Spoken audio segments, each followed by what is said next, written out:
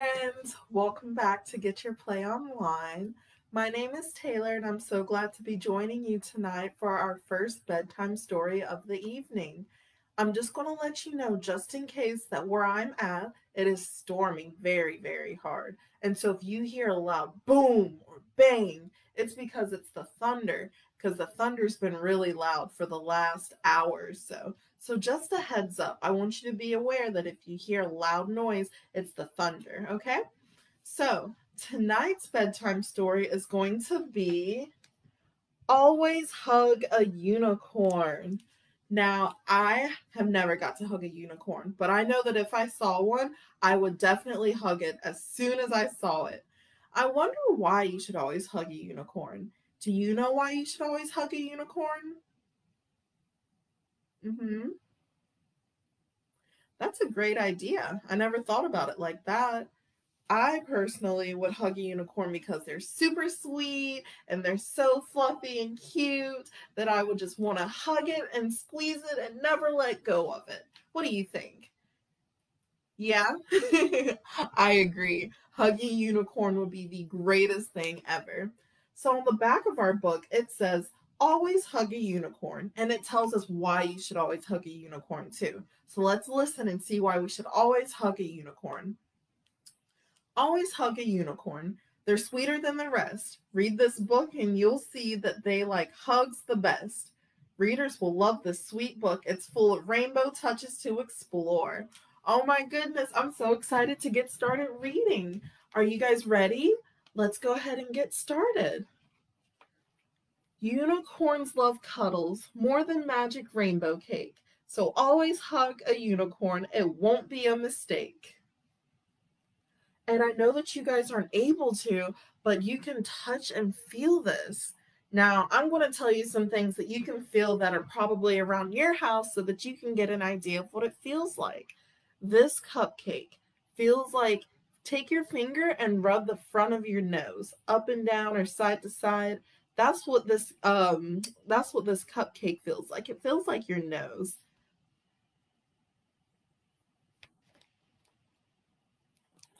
Unicorns love cuddles more than flowers in the sun, so always hug a unicorn and you'll have lots of fun. And this flower, you're able to touch the flower, see? And it makes a sound too. You know what it sounds like and what it feels like to me? I'm gonna tell you, this flower, it feels and sounds like a candy wrapper. So, have uh, you guys ever eaten a lollipop before? Or if you guys have ever taken the wrapper off of your own lollipop or your own candy bar, this is what it sounds like. It sounds like you're taking the wrapper off your favorite candy, and that's also what it feels like is the wrapper that goes on your lollipop or on your candy bars. So that's what our flower feels like. Unicorns love cuddles more than more than little rainbow fish. So always hug a unicorn and it might grant your wish. Oh, Do you guys think that your wish would come true if you hug a unicorn? That would be so amazing.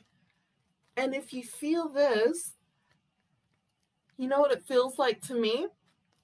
If you take your fingers and you make a high five and then you kind of bend your fingers down and lightly rub it on your hand, that's what the fish's tail feels like. Just like that. A little bit bumpy, a teeny tiny bit scratchy. But that's what the rainbow fish's tail feels like. Unicorns love cuddles more than songs in rainy weather hey, and it's raining outside where I'm at. so always hug a unicorn and you can sing together. This umbrella, it's so soft. You want to know what this umbrella feels like? If you take your hand and you rub it on your bed and you feel your blanket, that's exactly what this umbrella feels like. It's super mm-hmm. soft, like the blanket on your bed.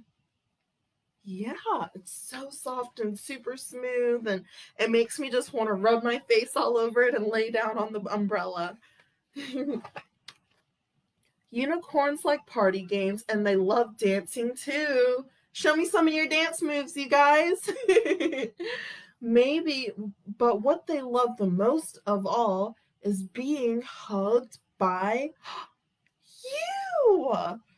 Oh my goodness. So if you guys ever see a unicorn, make sure you hug it because it says what they love the most of all is being hugged by you. And the unicorn's hair is super soft, just like on the front page. And if you want to know what the unicorn's hair feels like, take your hands and rub it through your hair. And that's exactly what the unicorn's hair feels like. It's soft like your hair and my hair. Isn't that amazing? And that's the end. Thank you guys so much for joining me today for our bedtime story. I really appreciated you guys joining me, and I had so much fun reading this story to you all.